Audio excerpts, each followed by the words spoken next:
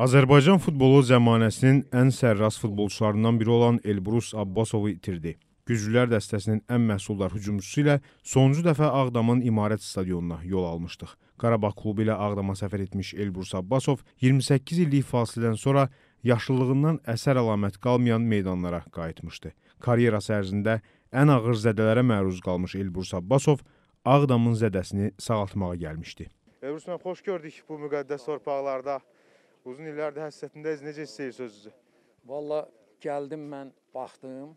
28 ildən sonra mənim o futbol oynadığım illərdə qan tərlə qazandığım hər şeyi dağıdıblar. Daş daş üstə yoxdur. Getdim baxdım.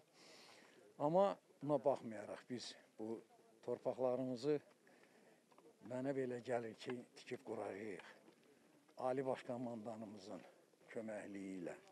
Çünki o elə bir iş gördü ki, inandırım siz dünyada belə bir müharibə olmamışdı. Çox yüksək səviyyədə. Ağdam itkisiz alındı, bir əskərin də burnu qanamadı. Bu özü böyük şeydir. Çünki Ağdam artıq 6 mindən çox şəhid verib.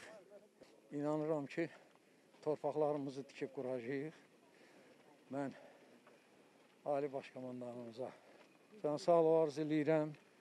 Bütün şəhidlərimizə, şəhid analarının qarşısında baş əyirəm.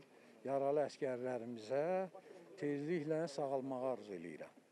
Elbrus Abbasov uzun illər Gəncənin Dinamo, Ağdamın Qarabağ, paytaxtın Neftçi klubunun formasında rəqib müdafiəçilərin kabusuna çevrilmişdi. Moskva Spartakına mərkəzdən vurduğu qolla xatırlanan veteran futbolçumuz koronavirusun qurbanı oldu.